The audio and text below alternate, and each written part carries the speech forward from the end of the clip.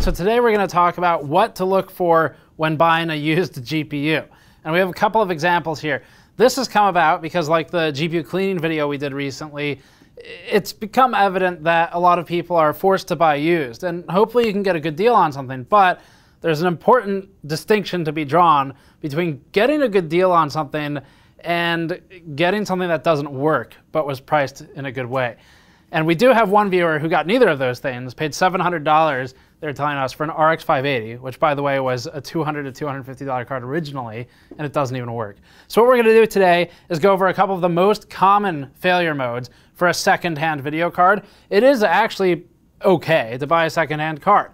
They can withstand a lot of use, but there are some key identifiers to figuring out when a card might be compromised and you should maybe pass on the purchase, and that's what we're gonna help with. Before that, this video is brought to you by Squarespace. Squarespace is what we've been using for years to manage our own Gamers Nexus store, and we've been incredibly happy with the choice.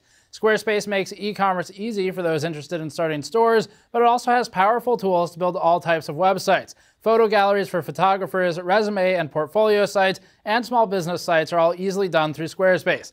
Having built a lot of client websites the old way before running GN full time, we can easily recommend Squarespace as a powerful, fast solution.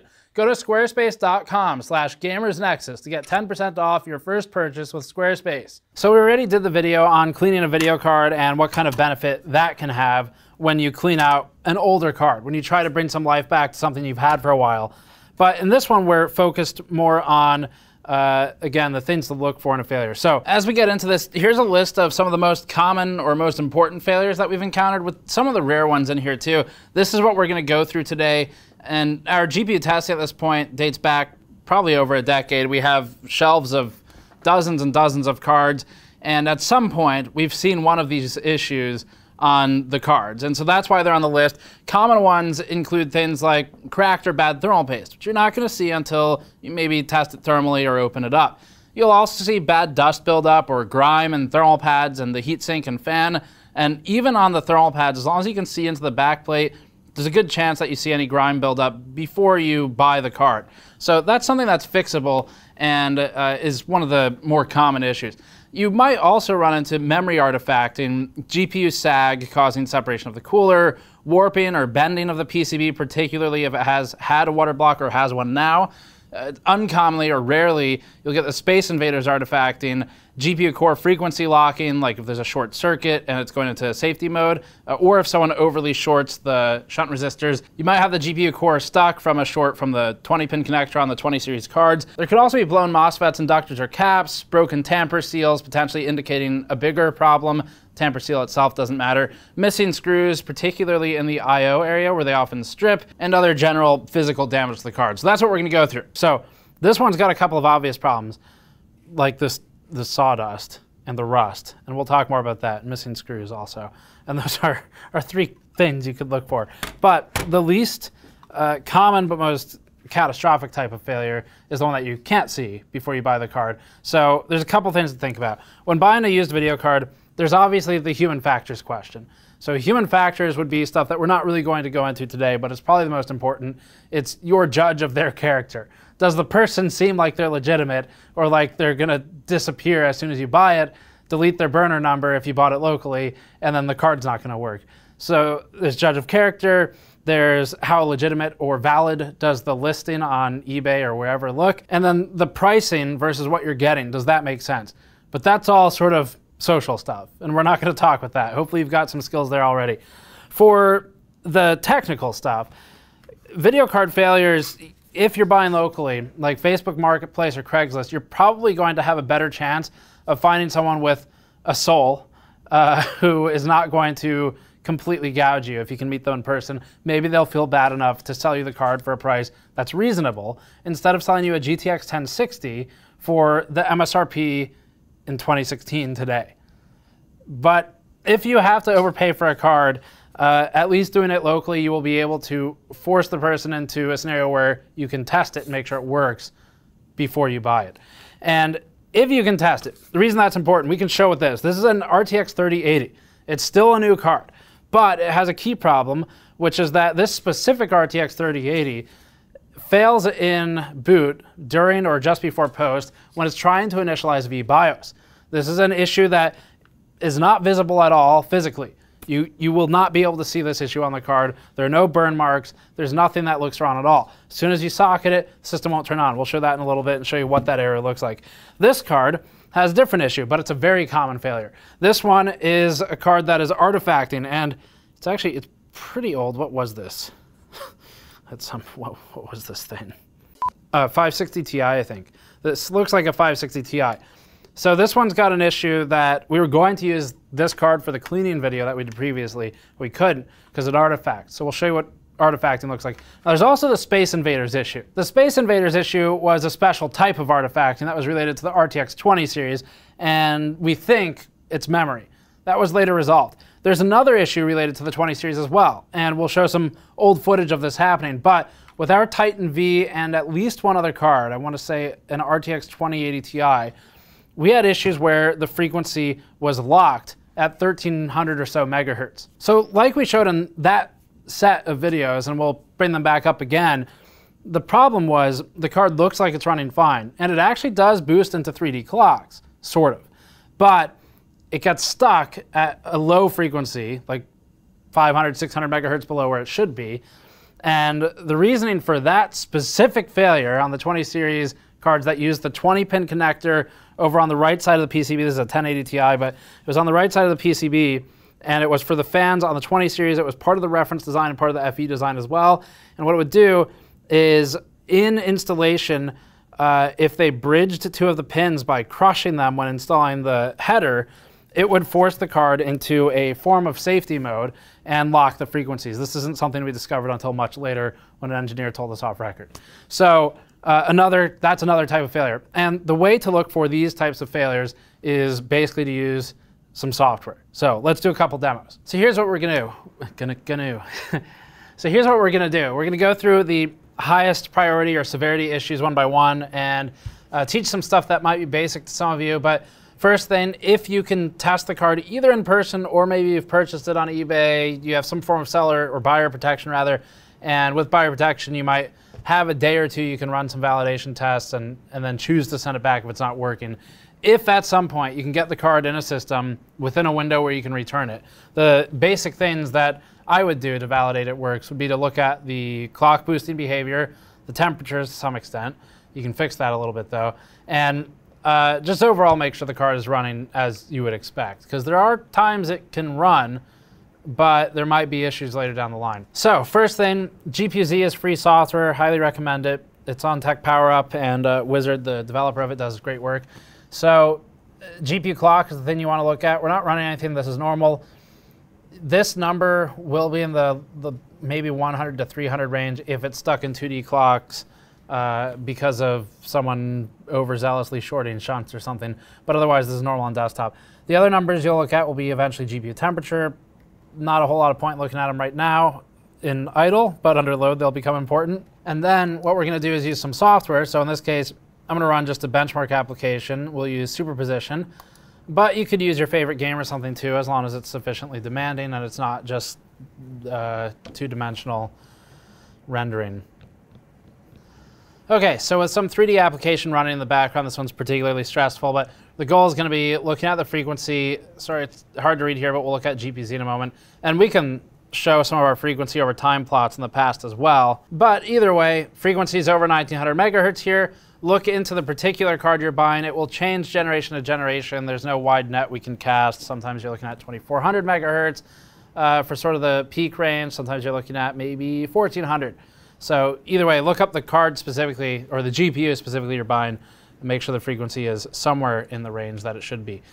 Memory is going to be fixed on basically everything. That's what it does. Uh, temperature here, I, I, wouldn't really use the superposition readout, but it's going to be the same thing as what GPU-Z is reading.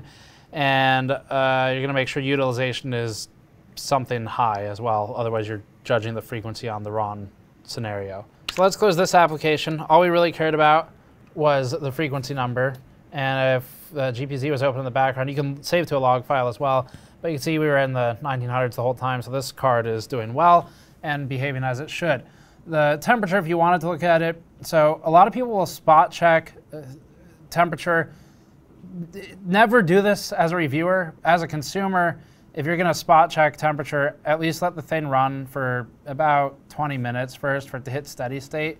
Uh, we were just demoing quickly, but generally speaking, the temperature is going to change card to card. Uh, it's going to change based on the age and everything else, and it's contingent on how much power it's pulling. But uh, there are certain safeties, and once you're above 90C on like non-new Radeon cards, then maybe it's time to take the thing apart and repaste it. But if it's not absolutely throttling, which would be indicated by the way in GPU-Z, then you're mostly fine. And uh, perf cap reason would tell you that. So it'll say therm, where it says power right now, it would say T-H-E-R-M if it's thermally throttling. And that's true for memory throttling as well on cards that support that readout. So that shows the really super basics of the software. We use this software pretty much every day, especially when doing GPU reviews. There's a lot more to it than this. And when doing reviews, there's a ton more control and care that has to be applied to getting those numbers. But for just making sure the thing you just bought is doing what it should be, that approach is fine. And obviously you'll want to maybe play some games for a while too to really find any issues. Now, what we'd like to show next is artifacting. This one, we, we do have a card that artifacts. This is a somewhat common, but not super common problem. Uh, however, it is common enough that people in the audience, there's, there's a good amount of you who have likely seen artifacting before. So let's demonstrate what that looks like for those who might not know. Okay, so for this one we had to switch display connectors, but it brings me to another point, which is that uh, some stuff you can look at on used cards obviously is physical damage. We'll talk about more of that a little bit later. We're starting with sort of the GPU side, software side of stuff. But uh, this card, for example, looks like perhaps Linus handled it before we got it. But if you look for physical damage like this, it might not mean that the card itself is bad. You can certainly drop video cards and have them still work fine, but it could be indicative of a bigger problem. Okay, so this one should give us artifacts as soon as I start installing drivers. I was mistaken. We have we have so many older GPUs. Uh, the one we wanted was the HD6870, which I've plugged in now, and this one will artifact. We'll show you what to look for. We're just looking for the HD6870 drivers, and I found a flaw.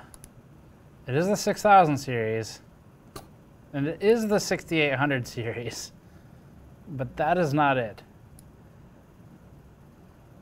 Names that strike again. Ah, yes, this makes sense. This is perfectly logical. So here's the example of artifact that we're talking about. This can happen from things like bad memory on the card or just from a bad memory overclock. You could try to manually tune down the memory below stock and see if that helps, and it sometimes does, depending on how aggressive the manufacturer was at launch, but it's mostly indicative of a problem that isn't necessarily solvable. Doing a DDU driver clean and reinstall can sometimes help, but the problem might come back. Switching rear I.O. to a different port can help as well if there's an issue with just that one output. And if none of these things fix the artifacting, and if downclocking the memory doesn't help by say 50 to 100 megahertz, it might be best to seek just a return and a refund on the card, or don't buy it if you're in front of the person and you have that luxury. A somewhat common issue might be GPU sag. This happens naturally, but it can get exaggerated with time. GPU sag is when the video card starts to droop on the far side and can be countered with a support beam, included in some cases actually. This is sometimes indicative of a loose backplate or loose mounting at the PCIe slot. It's not necessarily the card's fault. And we actually tested GPU sag a few years ago for thermals and got some good shots of it then, but if buying used, the larger concern is one where the cooler begins to separate from the PCB components. So your thermal pad might be stuck to the MOSFETs, but the cooler could be pulling away from the thermal pad on the far side. You might see this in the sale photos of the video card, in which case you've saved some time. You can plan to either ignore GPU sag, like if it's not too extreme, or fix it with a makeshift support of some kind. Those of you with 3D printers might be best equipped for this, although there are products available to support GPUs. We've used just simple foam blocks in the past. For physical hardware problems, the obvious ones are easy. If you see a broken tamper seal, it's not necessarily a sign of something bad, but it does mean that the user likely opened it at some point. They might claim they repasted it, and if they're being honest, it means they probably maintained the card well, and this is a good thing. The one point of concern is if they're trying to sell it because they didn't know what they were doing and broke the card in the process of opening it. So try to test it before buying. If it's missing screws as well, the same thing applies. Those screws don't necessarily matter, but it's an indicator of a larger issue, which is attention to detail and reassembly. You can also look for dust buildup, like in our previous video, or like in the case of this sawdust encrusted video card. Rust is another indicator that it was in a highly humid environment or exposed to water. And for internals, you likely won't be repasting until you at least know it works well enough to keep. And we would strongly recommend, if you're buying a used GPU, that you don't open the card until you're fairly certain that you're keeping it. Because once you open it, it gives the seller an avenue to accuse you of breaking it, even if it was already broken. We showed repasting in our previous video and showed one card from 11 years ago that had the silk screen paste basically fused with the aluminum heatsink. So we had to chip it off and replace it. It's generally just good maintenance to keep the paste somewhat fresh every few years anyway, but we'll leave that to our previous video. If you see excessive dust buildup or see that thermal pads are covered in filth or dirt, it's a good indicator that you can easily fix what the user might not have been able to. If they claim that the card's been overheating, you take one look at it and see it's jammed with dust, well, maybe you can save some money, buy something that the user is not willing to fix, and fix it yourself. Other problems might include blown MOSFETs or capacitors or missing capacitors. The cylindrical style capacitors are normally pretty easy to identify for failures because you'll see them bulging with time. Uh, you can also see one of the legs sort of pulled out. MOSFETs or inductors will have burn marks if they're messed up, but it's unlikely you'll find these problems because it would involve opening the card. However, if you plug the card in and it's failing to post, if red lights appear at the PCIe connectors for those cards that do have LEDs there, that would be an indicator that it may be an issue you can't really easily fix. And if you can, you're probably not watching this video. As for capacitors, missing something like an MLCC here and there isn't gonna ruin the card. They still work fine, but it's not ideal, obviously. We'd also recommend keeping an eye out for warped PCBs this isn't necessarily related to GPU sag, but it can be related to water block installation or from someone applying new thermal pads to the cooler that is already on there and using the wrong size. Thermal pads have to be exactly the right size, down to half millimeters normally. Otherwise, the PCB will bow from the cooler applying too much pressure in a particular spot. So as long as the card still works, this can be easily fixed by just buying the right size pads. Finally, fans are a big one. No spin fans are common these days. So a fan twitching, like EVGA's 1060 uh, that we recently looked at, or sitting idle doesn't mean it's broken. It's probably a feature. If it remains stationary under heavy gaming loads, though, there might be a problem. It could be as simple as the fan header is not connected or is broken, like if they ripped it out of the socket, if they disassembled it, uh, or it could be that the fans have died. You might also find fans with broken blades, and this is something to pay close attention to when buying. Just if it looks like it's missing one, then there's a problem. Fans are very easy to replace, fortunately. So if that's the only problem with the card, it's a great project to pursue for a lower price. Just take the fan out, identify the model on the back of it, and buy a new one online. Most take a few minutes to replace. We have a few case fans with broken blades that we can use as examples here. So stress fractures can form with age on fans and with long-term use. It's more common with larger fans though than with GPU fans. And as those fractures form, blades will normally split at the hub and you can typically see this stress fracture forming before the blade explodes off of the fan. There is one more thing that can be done, and that's maybe applying new lubricant to the fan's bearings. Depends on the type of bearing, depends on if they're actually the problem, but if you hear squealing from the fans when you turn the card on, then normally this will fix it, but replacing the fan would also work. So that's gonna be it for the what to look out for with buying a used GPU. There's a lot of basic stuff, and there's a lot of stuff we can't really teach, like just being aware of how the person's listing kind of sounds when you read it, and being aware of where they're located. So if you're not buying locally and you're competing with the global market, you're more likely to pay a higher price right now. And also, if you're buying on somewhere like eBay, pay attention to where it's shipping from because there's certain areas based on where you are that it might be harder to get a refund or pursue a return or a replacement uh, contingent on where they are relative to you. So just pay attention to things like that and the social side of stuff we're not going to talk about. There's just there's certain things that aren't uh, aren't for this video. But those are the main items from a technical perspective of what to look for. And obviously there's plenty more to talk about. Uh, crypto mining might be one. A lot of people ask if a card has been used for mining, is that a bad thing? Depends. If it's a, we'll call them a, a professional mining operation, then it's possible, if it wasn't in an overly hot warehouse, that the card is potentially in better shape than it would be if it were in the average gamer's computer. Uh, because in theory they're running it at a reduced power load. It might have a modded BIOS on it, and if that's the case, you can go to Tech Power Up and try to grab one for the same card you bought and replace the BIOS that's on there. But it's possible it's in better shape, uh, except for if it's in an overly hot warehouse where it's been burning up for years and years. And on the topic of vBIOS, we did have that one 3080 that doesn't boot. The way to identify that, you plug it in, you push the power button, and you get a postcode on the board. If the board has a seven segment display, awesome, look up the code. Oftentimes it'll come back as a VGA vBIOS failed to initialize, typically how the error is described in the manuals. Uh, or you might get a post beep and you can look up what that beep code means. It exists as well in, in beep format. But that's it for this one. Hopefully this helps some of you. Uh, you can check out our previous video on how to clean a video card once you've bought it if you want to learn about that or keep your current card going. We have a lot of revisits for older video cards as well, where you can see how they perform today with benchmarks versus modern cards and other old cards. Or you can go to store.gamersnexus.net if you'd like to buy something like one of our teardown toolkits, specially made for video cards, works with most of them on the market, or one of our mouse mats or other items. Thank you for watching. Check back for more, and we'll see you all next time.